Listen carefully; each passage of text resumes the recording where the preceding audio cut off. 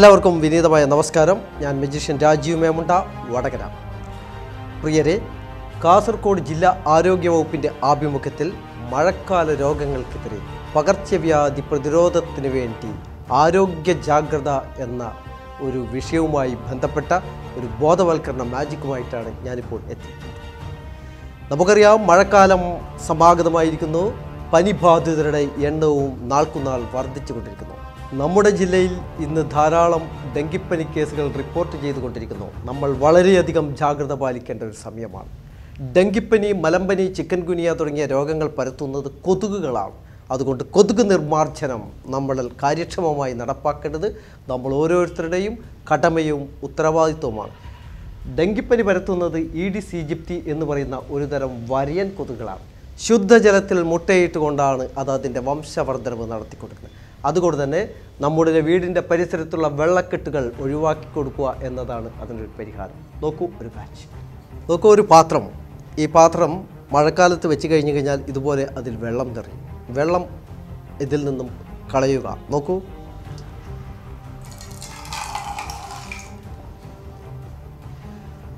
മഴക്കാലം എത്തിയിരിക്കുകയാണ്. മഴ പെയ്യുമ്പോൾ നമ്മൾ അലക്ഷ്യമായി വലിച്ചെറിയപ്പെട്ട പാഴ്വസ്തുക്കളിലും അതുപോലെ തന്നെ പാത്രങ്ങളിലൊക്കെ തന്നെ ധാരാളം വെള്ളം വീണ്ടും കെട്ടിക്കിടക്കും.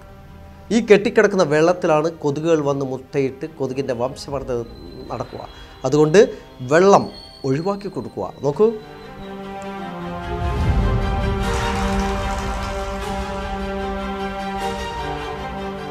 വീണ്ടും മഴ പെയ്യുന്നു. നമ്മൾ അലക്ഷ്യമായി വസ്തുക്കൾ മുട്ടത്തോട് ഡിസ്പോസിബിൾ ഗ്ലാസുകൾ ഐസ്ക്രീം കപ്പുകൾ തുടങ്ങിയവയൊക്കെ വലിച്ചെറിയുന്നു. ഇതിലൊക്കെ തന്നെ മഴക്കാലത്ത് വെള്ളം കെട്ടിക്കിടക്കും. ആ വെള്ളത്തിലാണ് വില്ലനായിരിക്കുന്ന കൊതുക് വന്ന് മുട്ടയിടുക. അതുകൊണ്ട് വെള്ളം ഒഴിവാക്കി കൊടുക്കുക. നോക്കൂ. പ്രിയപ്പെട്ടവരെ നമ്മുടെ നാട്ടിൽ വലിച്ചെറിയപ്പെട്ട തെങ്ങിന്റെ കരിക്കുണ്ടാവും. കരിക്കിൻ തൊണ്ടുണ്ടാവും. അതുപോലെ കമുങ്ങിൻ പാള മരപ്പൊത്തുകൾ ടയറുകൾ ഇതൊക്കെ വെള്ളം സംഭരിച്ച് നിൽക്കും. അതുകൊണ്ട് അതൊക്കെ തന്നെ മറച്ചു വെക്കുക അല്ലെങ്കിൽ കമിഴ്ത്തി വെക്കുക. അതിൽ നിന്ന് വെള്ളം ഇതുപോലെ ഒഴിവാക്കി കൊടുക്കുക. പ്രിയപ്പെട്ടവരെ മാലിന്യങ്ങൾ അലക്ഷ്യമായി വലിച്ചെറിയരുത്. മാലിന്യങ്ങൾ തരംതിരിക്കുക അതിന്റെ ഉറവിടത്തിൽ തന്നെ സംസ്കരിക്കുക. ഫ്രിഡ്ജിന് പിറകിലെ ട്രേ അതുപോലെ തന്നെ ചെടിച്ചട്ടിക്കടിയിൽ വെക്കുന്ന പാത്രം ഇതിലൊക്കെ തന്നെ വെള്ളം കെട്ടി നമ്മുടെ കൊതുക് വരും. അതുകൊണ്ട് ഇതൊക്കെ മാറ്റുക. അതുപോലെ തന്നെ നമ്മുടെ വീട്ടിലെ സെപ്റ്റിക് ടാങ്കിന്റെ വിൻഡ് പൈപ്പ് പ്ലാസ്റ്റിക് പാത്രങ്ങൾ തുടങ്ങിയവ മാറ്റുക. ആഴ്ചയിൽ ഒരു ദിവസം ഡ്രൈ ഡേ ആചരിക്കുക. നമുക്കറിയാം ഒരു കൊതുകിന്റെ വംശവർദ്ധനവ് പൂർത്തിയാകുവാൻ നാല് ദശ ഉണ്ട്. ആ ദശ കഴിയുമ്പോൾ ഏകദേശം പത്ത് ദിവസത്തോളം എടുക്കും. അതിനിടയിൽ ആഴ്ചയിൽ ഒരു ദിവസം വെള്ളക്കെട്ടുകളും മാലിന്യങ്ങളും മാറ്റിക്കഴിഞ്ഞാൽ കൊതുകിൽ നിന്നും നമുക്ക് സംരക്ഷണം കിട്ടും. അതുകൊണ്ട് കൊതുക് വിരുദ്ധ പ്രവർത്തനങ്ങളിൽ നമ്മൾ സജീവമായി പങ്കെടുക്കുക എന്ന് മാത്രം അഭ്യർത്ഥിക്കുന്നു. താങ്ക് യു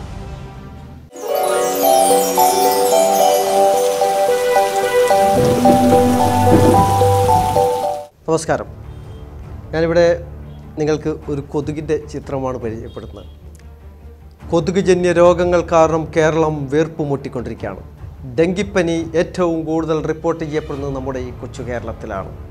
നമുക്കറിയാം ഈഡിസ് കൊതുകാണ് ഡെങ്കിപ്പനി വരുന്നത് അതുപോലെ മലമ്പനി അനോഫിലിസ് എന്ന് പറയുന്ന ഒരു കൊതുകാണ് വരുന്നത് കൊതുകുകൾ എവിടെയാണ് വളരുക എന്ന് ചോദിച്ചാൽ നമ്മൾ അലക്ഷ്യമായി വലിച്ചെറിയപ്പെടുന്ന വസ്തുക്കളിൽ പാഴ്വസ്തുക്കളിൽ മഴക്കാലത്ത് വെള്ളം കെട്ടിക്കിടക്കുകയും അതിൽ വില്ലനായിരിക്കുന്ന കൊതുക് വന്ന് മുട്ടയിടുകയും ഒരുപാട് കൊതുകുകളുണ്ടാവും നമുക്കറിയാം ചിക്കൻ കുനിയ ഡെങ്കിപ്പനി ജപ്പാൻ ജ്വരം മന്ത് മലമ്പനി തുടങ്ങിയ രോഗങ്ങൾ ഉണ്ടാക്കുന്നത് ഈ കൊതുകാണ്.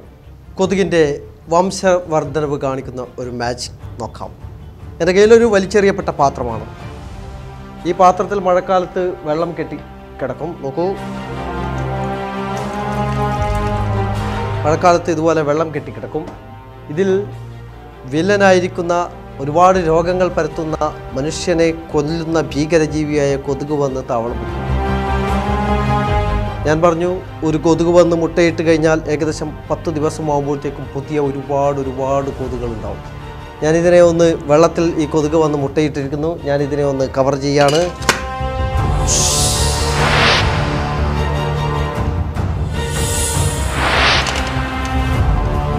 യെസ് നോക്കൂ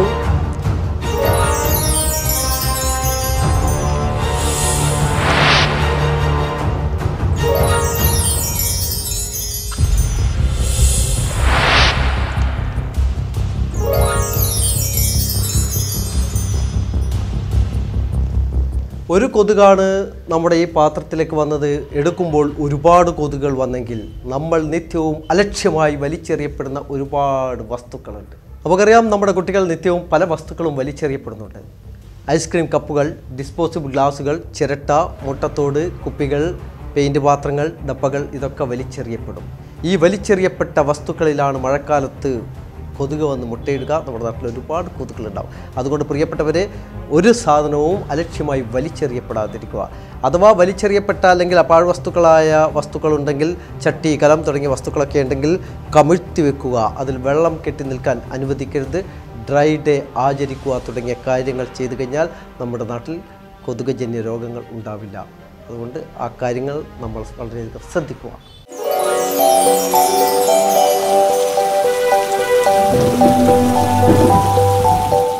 രണ്ട് ബോൾ ഉപയോഗിച്ചുകൊണ്ടുള്ളൊരു മാജിക്കാണ്. ആരോഗ്യ ബോധവൽക്കരണ മാജിക്കുമായി തന്നെയാണ് ഈ ബോളിനെയും ഞാൻ ബന്ധപ്പെടുത്താൻ നോക്കൂ.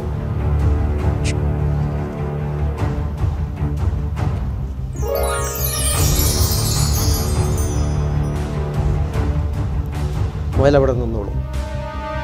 പ്രിയപ്പെട്ടവരെ എലിപ്പനിയുമായി ബന്ധപ്പെടുത്തിക്കൊണ്ടാണ്. മുയലിനെ അല്ല ഞാൻ ഉദ്ദേശിച്ചത്. ഞാനൊരു എലിയെയായിരുന്നു. പക്ഷേ എലി ഒരു ഭീകര ജീവിയായത് കാരണം ഞാൻ താൽക്കാലികമായി മുയലിനെ ഈ മാജിക്കിന് ഉപയോഗിച്ചു എന്നേ ഉള്ളൂ നമുക്കറിയാം മഴക്കാലം തുടങ്ങിക്കഴിഞ്ഞാൽ എലിപ്പനി വ്യാപിക്കുവാൻ വളരെയധികം സാധ്യതയുണ്ട്.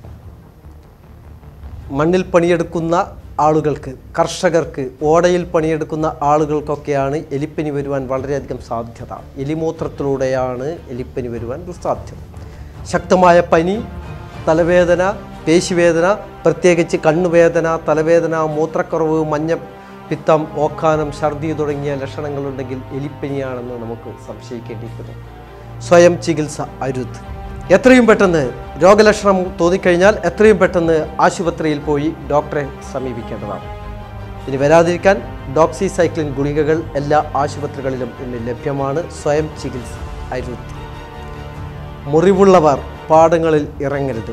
പാടങ്ങളിലും അതുപോലെ തന്നെ ഓടയിലൊക്കെ പണിയെടുക്കുന്നവർ ഗ്ലൗസ് ധരിക്കുക സോക്സ് ധരിക്കുക ഷൂ ധരിക്കുക തുടങ്ങിയ കാര്യങ്ങൾ ചെയ്തു കഴിഞ്ഞാൽ എലിപ്പനിയിൽ നിന്ന് നമുക്ക് രക്ഷ നേടും. മാലിന്യങ്ങൾ മാലിന്യവും വെള്ളക്കെട്ടുകളുമാണ് എലിപ്പനിയുടെയും മറ്റ് കൊതുക് കൊതുകുജന്യ രോഗങ്ങളുടെ. മാലിന്യമില്ലെങ്കിൽ എലിയില്ല എലിയില്ലെങ്കിൽ എലിപ്പനിയില്ല. അതുകൊണ്ട് പ്രിയപ്പെട്ടവരെ മാലിന്യം വീടും പരിസരവും മാലിന്യമുക്തമാക്കുവാൻ നമ്മൾ വളരെയധികം ശ്രദ്ധിക്കണം.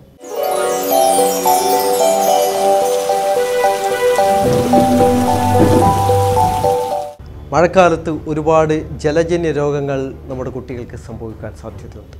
വയറിളക്കം കോളറ ടൈഫോയിഡ് മഞ്ഞപ്പിത്തം തുടങ്ങിയ രോഗങ്ങൾ മിക്കവാറും മലിനമായ വെള്ളത്തിലൂടെയും മലിനമായ ആഹാരത്തിലൂടെയുമാണ് ഉണ്ടായിക്കൊടുക്കുന്നത് ജലജന്യ രോഗങ്ങൾ പ്രധാനപ്പെട്ട ഒന്നാണ് വയറിളക്കം. കുട്ടികൾക്കും മുതിർന്നവർക്കൊക്കെ വയറിളക്കം ഉണ്ടാകും. വയറിളക്കം വന്നു കഴിഞ്ഞാൽ ഉടൻ തന്നെ വീട്ടിൽ വെച്ച് നമുക്ക് സ്വയം ചികിത്സ തുടങ്ങാം. ഉപ്പിട്ട കഞ്ഞിവെള്ളം കൊടുക്കുക. അതുപോലെ തന്നെ കരിക്കിൻ വെള്ളം ഒ ആർ എസ് ലായനി ആദ്യം കൊടുക്കുക. കൂടുതലായി കഴിഞ്ഞാൽ ഉടൻ തന്നെ ഡോക്ടറെ സമീപിക്കേണ്ടിയിട്ട് ജലജന്യ രോഗങ്ങളുമായി ബന്ധപ്പെട്ട ഒരു മാജിക്കാണ് ഞാൻ ഇനി അവതരിപ്പിക്കുന്നത്. നോക്കൂ.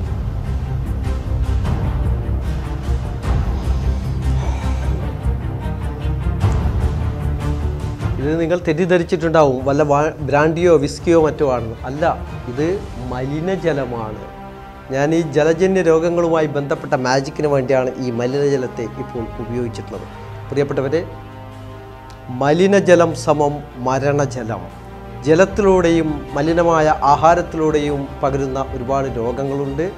മഞ്ഞപ്പിത്തം കോളറ ടൈഫോയിഡ് തുടങ്ങിയ വയറിളക്കം തുടങ്ങിയ രോഗങ്ങൾ ഈ ജലജന്യ രോഗങ്ങളാണ്. സുരക്ഷിത ജലം ജീവസുരക്ഷയ്ക്ക് നല്ല വെള്ളം മാത്രമേ കുടിക്കാൻ ഉപയോഗിക്കാവൂ. നോക്കൂ ഈ മാലിന്യം കലർന്ന ചെളി കലർന്ന ഈ വെള്ളത്തെ ഞാനൊന്ന് ശുദ്ധീകരിക്കാൻ പോവുകയാണ്. പ്ലീസ് വാച്ച്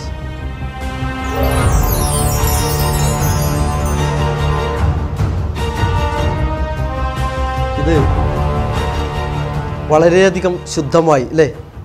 പറയാൻ പറ്റില്ല ശുദ്ധമായിട്ടില്ല. ഇത് ഏകദേശം കുപ്പിവെള്ളം പോലെയാണ്. നമ്മൾ ധരിക്കുക പതിനഞ്ചും ഇരുപതും രൂപ കൊടുത്ത് കുപ്പിവെള്ളം വാങ്ങുമ്പോൾ ഇത് സുരക്ഷിത ജലം എന്നാണ് പലരും ധരിക്കുന്നത്. പക്ഷേ തെറ്റാണ്. ഇത്തരത്തിലുള്ള വെള്ളത്തിൽ കുപ്പിവെള്ളത്തിൽ ധാരാളം കോളിഫോം ബാക്ടീരിയകൾ അടങ്ങിയിട്ടുണ്ടെന്നാണ് ലാബ് റിപ്പോർട്ടുകൾ പറയുന്നത്. അതുകൊണ്ട് ഏറ്റവും നല്ല വെള്ളം എന്ന് പറയുന്നത് തിളപ്പിച്ചാറിയ വെള്ളമാണ്. പ്രിയപ്പെട്ടവരെ തിളപ്പിച്ചാറിയ വെള്ളം മാത്രം കുടിക്കാൻ ഉപയോഗിക്കുക. കൈകൾ സോപ്പിട്ട് കഴുകുക ഭക്ഷണ പദാർത്ഥങ്ങൾ മൂടി വെക്കുക കുഞ്ഞുങ്ങൾക്ക് മുലപ്പാൽ മാത്രം കുപ്പിപ്പാൽ കൊടുക്കാതെ പരമാവധി ഒഴിവാക്കുക വീടും പരിസരവും വൃത്തിയായി സൂക്ഷിക്കുക കിണർ വെള്ളം ക്ലോറിനേഷൻ ചെയ്യുക മലമൂത്ര വിസർജനം ഓർക്കുക മലമൂത്ര വിസർജനം കക്കൂസിൽ മാത്രം. കക്കൂസിൽ പോയി കഴിഞ്ഞാൽ കൈകൾ നന്നായി സോപ്പോ ഹാൻഡ് വാഷോ ഉപയോഗിച്ച് നന്നായി വൃത്തിയായി കഴുകിക്കഴിഞ്ഞാൽ ജലജന്യ രോഗമായ കോളറ വയറിളക്കം കോളറ മഞ്ഞപ്പിത്തം തുടങ്ങിയ ടൈഫോയിഡ് പോലുള്ള രോഗങ്ങൾ നമുക്കുണ്ടാവില്ല. അതുകൊണ്ട് പ്രിയപ്പെട്ടവരെ സുരക്ഷിത ജലം ജീവസുരക്ഷയ്ക്ക്